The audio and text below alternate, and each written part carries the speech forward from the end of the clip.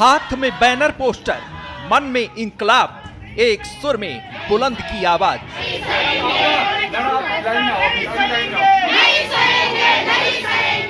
ये आक्रोश है पौड़ी की उस जनता का, जो खुद को ठगा महसूस कर रही है।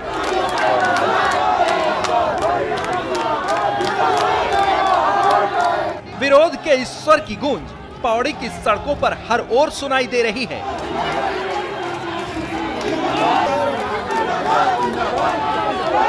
जन आक्रोश सैलाब बनकर सड़कों पर उतरा और हुक्मरानों के खिलाफ मोर्चा खोल दिया।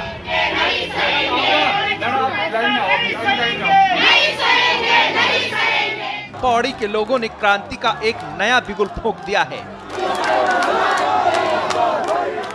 जन सैलाब की ये तस्वीरें पौड़ी ज़िले की हैं, जहाँ शहरवासियों ने अपनी मूल समस्याओं को लेकर शासन प्रशासन के खिलाफ विरोध का बिगुल फूंक दिया। लोगों का ये आक्रोश जन आक्रोश रैली के रूप में सामने आया। हज़ारों की संख्या में लोग जन आक्रोश रैली में शामिल हुए। इन लोगों ने सरकार से मूलभूत सुविधाएँ देने की मांग की जिनसे कि अब तक वंचित हैं। आज जो जन सैलाब मातृशक्ति को देखने को मिला है उत्तराखंड को जब हम एक नई दिशा में लेके जा रहे थे और उत्तराखंड की जो मांग थी हमारी उसमें मातृशक्ति ने बढ़ चढ़ हिस्सा लिया था। आज वही हिस्सा हमें देखने को मिला होगा।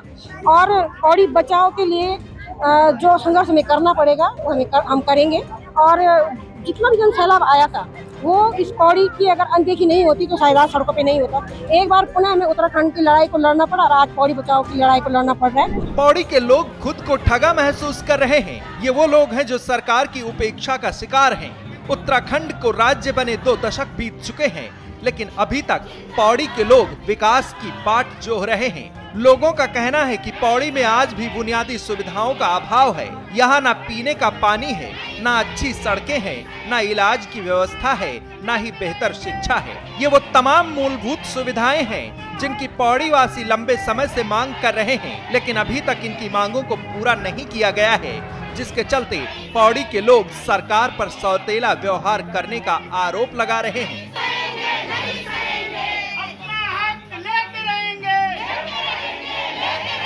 देखिए, जो संयुक्त संघर्ष समिति का यहाँ पे गठन हुआ है, हमने एक स्ट्रेटेजी पे काम किया कि ईमानदार पहल अगर कहीं पे होती है तो जनता साथ देती है, ये उत्तराखंड आंदोलन से हमने सीखा है। और हम लोगों ने राजनीतिक स्वार्थों से परे होकर जो ये ईमानदार पहल की है, और आज वो जो सैलाब आपने सड़कों पे देखा, पौड़ी की जन समस्याओं को लेकर जो आक्रोश, जन आक्रोश सड़कों पे देखा है, वो इसकी परिणति है, और हम इस मुहिम को यूँ ही जारी रखेंगे जब तक हमारी मांगों पर सरकार अमल न कर दे। वैसे तो पौड़ी के लोग पहले भी अपनी मांगों को लेकर आंदोलन करते रहे हैं, लेकिन इस बार इन्होंने नई क्रांति का बिगुल फूंक दिया है, क्योंकि इस बार हर उम्र और हर वर्ग के लोग अपनी मांगों को लेकर सड़कों पर उतर आए हैं। प्रदर्शनकारियों ने साफ़ कर दिया कि जब तक उनकी मांगे पूरी नहीं होती तो यह आंदोलन यूँ ही चलता रहेगा। और अगर जल्द ही सरकार ने उनकी मांगे नहीं मानी तो वो आमरण अनशन पर बैठ जाएँगे।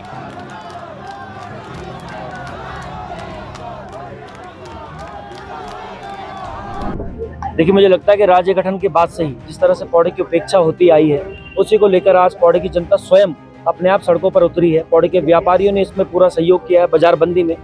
और हमारी जो मूलभूत समस्याएँ हैं, जैसे कि अस्पताल की बात कर लीजिए, कूड़े की बात कर लीजिए, जलकर भवनकर की बात कर लीजिए और इसके अतिरिक्त हमने जो व्यापार सभा के ऊपर ट्रेड टैक्स लगाया जा रहा है, इसकी बात कर लेते हैं। तो इन सभी को लेकर आज एक मांग पत्र जिलाधिकारी के माध्यम से मुख्यमंत्री को दिया गया है। मुझे पूरी उम्मीद है कि जल्द से जल्द वहाँ से कुछ ना कुछ हमें आश्वासन मिलेगा और ऐसा नहीं होता है तो पच्चीस तारीख से फिर हम लोग आमरण अनशन की तैयारी करेंगे। धामी सरकार के प्रयासों से उत्तराखंड विकास की नई इबारत लिख रहा है। प्रदेश के कोने कोने में विकास पहुँच रहा है। पर्यटन से लेकर तीर्थ तक, उद्योगों से लेकर कृषि तक हर क्षेत्र में उत्तराखंड तेज़ी से आगे बढ़ रहा है लेकिन अभी भी देवभूमि में कई ऐसी जगह है जहाँ मूलभूत सुविधाओं का अभाव है। पौड़ी के लोग भी ऐसे बुनियादी सुविधाओं की मांग कर रहे हैं। इस बार एकजुट होकर लोगों ने अपने हक में आवाज़ बुलंद की है। देखना होगा कि ये आवाज़ शासन प्रशासन के कानों तक पहुँचती है या नहीं। नहीं सहेंगे, नहीं सहेंगे, अपना हक लेते रहेंगे